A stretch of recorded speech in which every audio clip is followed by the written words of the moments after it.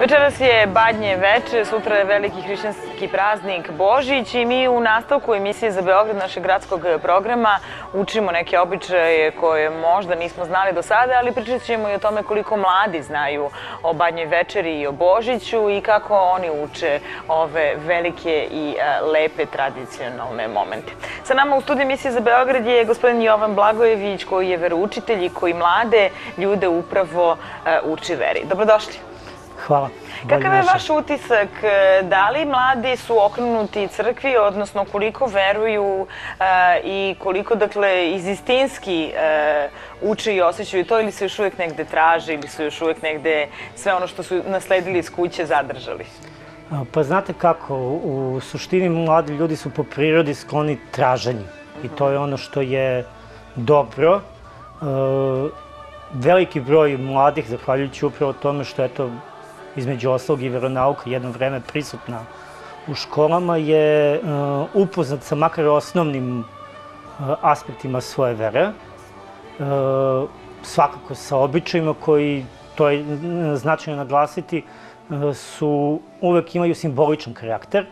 I ono što je posao nas koji predajemo versku nastavu i uopšte ljudi koji se nalaze u crkvenoj službi, jeste da mlade ljude i ne samo mlade ljude uputimo na ono što je iza tih e, simbola, odnosno da ne dozvolimo da e, sami ti običaji postanu smisao po sebi, nego da se e, suoče sa tim da ti običaji u stvari su tu da nas upute na suštinu vere. A, suština hrišćanske vere je upravo Hristos i da u krajnjoj liniji, zahvaljujući tome, budemo bolji ljudi. Da. Koliko smo postali bolji ljudi od trenutka kada se čini da nam je dozvoljeno da svi verujemo, ja bili smo jedno vreme zatvoreni, a onda e, je nekako ta tradicija prihvaćena u opštem obliku i sada se zapravo ne zna ko zaista veruje, a ko ne. Imate li takav utisak ili ne? Pa delimično ste u pravu. De, delimično je to sigurno da znači, postoji jedan etnološki karakter i jedan moment kada taj etnološki karakter zna da prevlada nad su, suštinom vere. Međutim, treba da, da budemo svesni te činjenice da mnogi ljudi koji posle jednog perioda uh, ateizma koji je uh mhm. delimično nametnut, delimično bio posledica uh, društvenih dešavanja, okolnosti i slično, ulaze u crkvu iz uh, etnoloških razloga, iz možda čak i nacionalnih razloga, e, posle nekog vremena e, počnu da žive suštinski hrišćanski. Znači, taj aspekt e, ne smemo da zaboravimo, da je to jedan tranzicioni period uh ka rehristijanizaciji našeg naroda i našeg podmotka.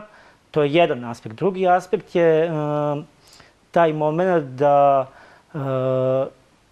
mnogi ljudi ne znaju ni ono što je najosnovnije i da tim ljudima je upravo usmereno, uh, ka tim ljudima je upravo usmerena ta poruka uh, spasenja, poruka uh, koja, koja treba da ih učini boljim ljudima. Sad, koliko smo postali bolji ljudi zahvaljujući tome, ja mislim da jesmo.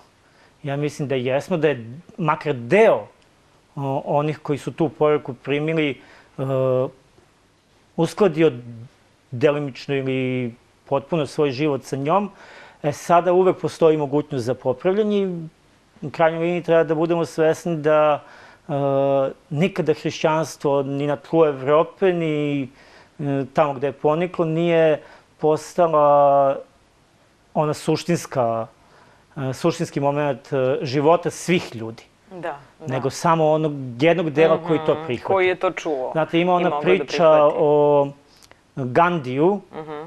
Vi znate da je Gandhi dugo se školovao u Engleskoj, on je bio hinduistički nastrojen, poticu iz Indije, gde je hinduistička tradicija jaka, ali je bio oduševljen um, hrišćanskim idejama i postoji jedna čuvena njegova izjava hri, hrišćani da, Hristos ne. -huh. Zbog toga što je bio razočaran u način na koji su hrišćani delovali, na koji nije bio usklađen sa onim što hrišćanstvo, što je Hristos govorio, što je na što je Hristos pozivao i on je čak upotrebio tu ilustraciju koja se, eto, vrti po nekim filmovima. Nedavno je to bio na, na programu jedna televizija, onaj kultni film Kum. Da, I da. tu se sada vidi onaj susad kada kardinal razgovara sa Michaelom Corleoneom i uzima kamen i kaže "E, e, hrišćanstvo je kao je na tlu Evrope već milenijumima, ali kao što je kamen u vodi, ali kad ga polomite, on je unutra suv. Često smo i mi hrišćani suvi unutra, vlažni e, samo s polja. Hrišćanstvo nam je neki okvir, a unutar u, u suštini e, je nešto drugo. I naš posao je kao veroučitelja i kao onih koji, kažem, smo u službi e, hrišćanske misije jeste upravo da pokušamo da e, to što je s polja sada unesemo i u suštinu ljudskog postojanja. Šta su pitanja mladih ljudi sa kojima se gotovo svakodnevno susrećete? Dakle, e, u hrišćanskoj veri, u našoj veri prepoznajemo sve to što čitamo u nekim drugim knjigama, takozvane popularne psihologije, dakle, opraštanje, dakle, je negde, e, kao što ste sami rekli, esencija svega i evo vezuje se za veliki hrišćanski praznik Božić. Šta je ono što mlade ljude muče? Kako vam pitanja postavljaju van nastave? Jel ima takvih situacija? Pa svakako ima, kažem, mladi su skloni traganjima. E, ono što je pozitivno kada su mladi u pitanju jeste što se oni ne zadovoljavaju formom i tragaju za suštinom. I jedno od najčešćih pitanja koje je povezano sa e, tim odnosom formalnog e, ispovedanja vere i suštinskog e, života u skladu s verom jeste, e, a svi ti običaji, sve to što mi radimo, šta u stvari to za nas znači. Šta vam to donosi, jel? Ne samo šta nam donosi, nego uh, šta je smisao toga. I tu je ono što je možda najznačajnije, ono što sam i malo rekao, da svi ti običaji koje mi praktikujemo u većoj ili manjoj meri uh, su simboličkog karaktera, uh, a simboli po prirodi su fluidni. I imaju razli, u različitim kontekstima imaju različito značenje. I ono što je tu suštinsko kad govorimo o Božiću, kad govorimo o prazniku rođenja Hristovog, jeste da se setimo upravo tog na prvom mestu istorijskog e, događaja, da je Hristos koji je sin Boži kao predvečni e, predvečna ličnost Svete Trojice, e, svoje božanstvo zaogrnuo ljudskim postojanjem, da je na sebe preuzeo sve aspekte ljudskog postojanja i da je time spojeno ljudsko i, božansko postojanje. Sa druge strane, time je čoveku dat najveći mogući dar, dar obnovljene, zajednice sa Bogom. I Božić jeste vreme darovanja. I u tom kontekstu treba da se e, setimo upravo toga da smo mi pozvani da budemo posrednici te božićne radosti u svetu, odnosno da budemo oni koji ćemo druge darovati, ali ne samo na onom nivou Materijalnog e, poklona i ne materijalnog znam. poklona i ono Da. u krugu porodice i slično, nego na jednom, jednom opštem e, planu. Ja sam, eto, pošto sarađujem i sarađujem Slovo Ljubav, napisao sad jednu reportažu u, u vezi sa različitim porukama koje su m, episkopi, arhijepiskopi i patrijarsi različitih pomesnih pravoslavnih crkava e, uputili kada je u pitanju uh, ovaj praznik rođenja gospodnjeg.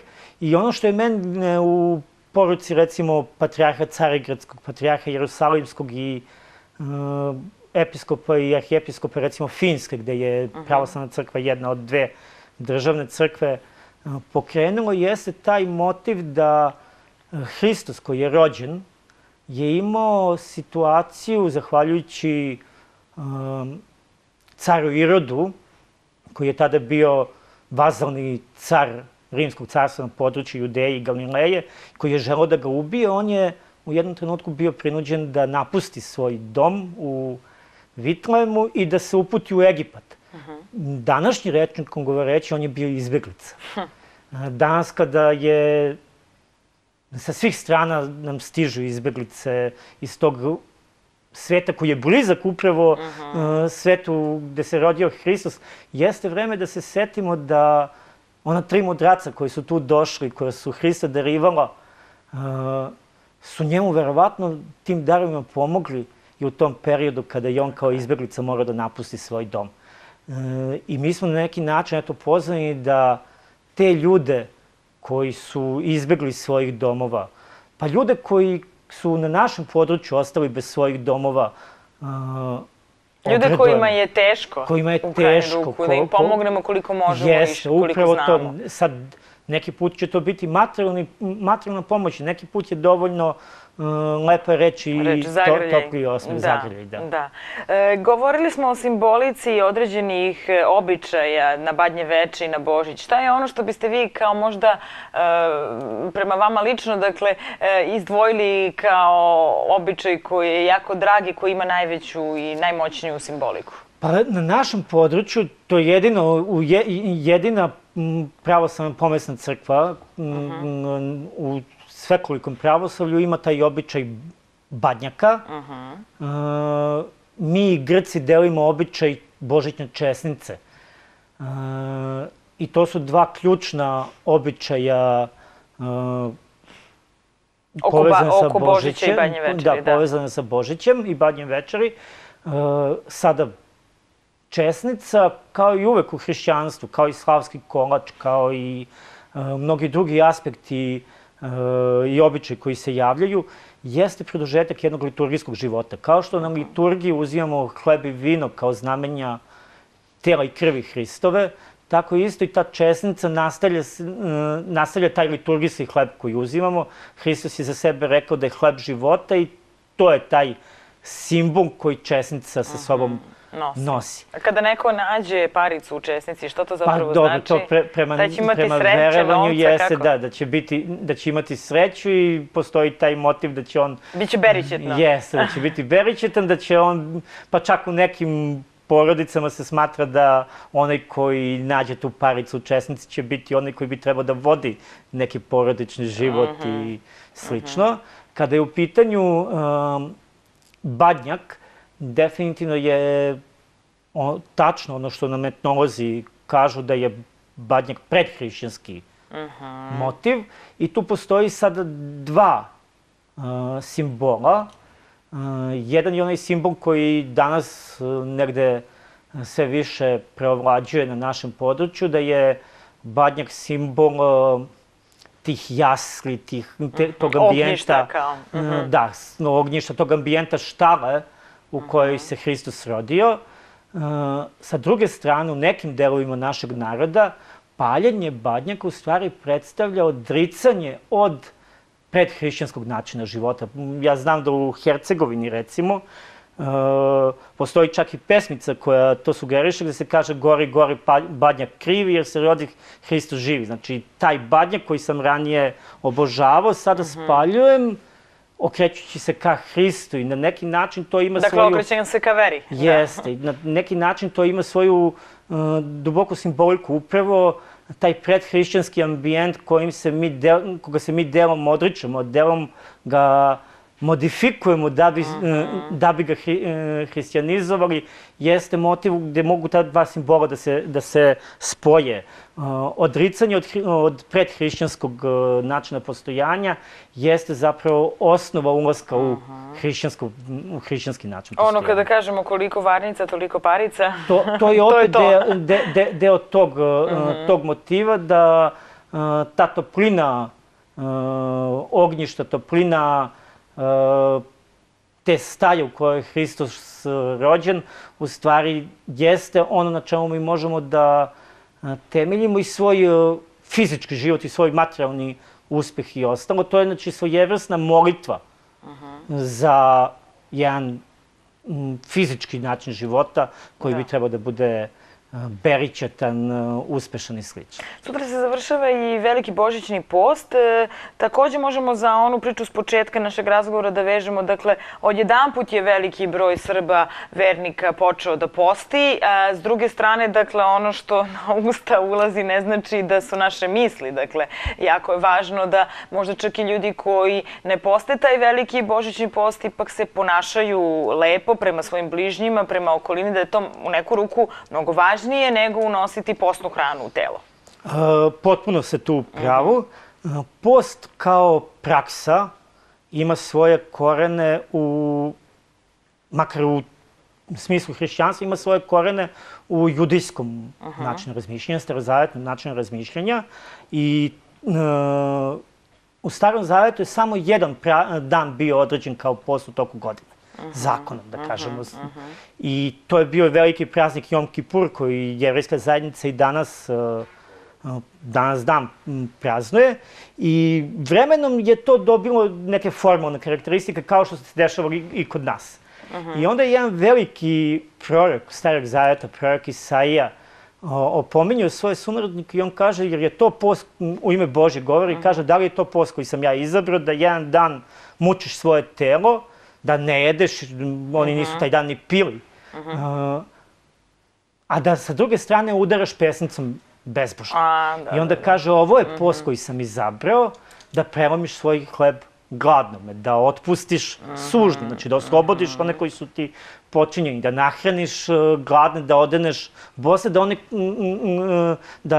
Da podeliš nešto, Jeste, da se podeliš da one odrekneš koji nečega. nemaju gde da žive, uvedeš u svoj Udomiš, dom. mislim, kod I kod nas neko vreme, postoji, da. recimo, ta, u nekim delovima ta praksa da se na Božić, recimo, pozivaju oni koji su beskućnici da Mhm. se ogreju u, u domu i, i slično. I, u tom kontekstu je veoma zanimljivo je- jedno razmišljenje koje... Imamo svoj- još kratko vremena, kažite samo. ko, koji je, koji je svoj, mm, jedno razmišljenje blažno počivšeg ra, profesora Radovana Bigovića, Mhm.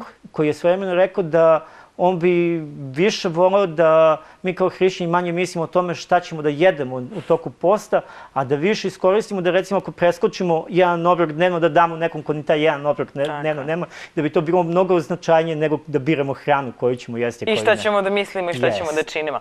Hvala vam, gospodine Blagoviću, na izdvojenom vremenu. Dakle, Hvala čuli ste dosta toga e, smo i naučili ko nije znao o Božiću, o e, Badnje večeri i mi nastavljamo